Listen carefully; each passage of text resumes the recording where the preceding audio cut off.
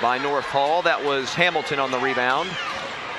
And Swazowski will push. Mary Kate again. All of a sudden, a one point game. Her fourth three already.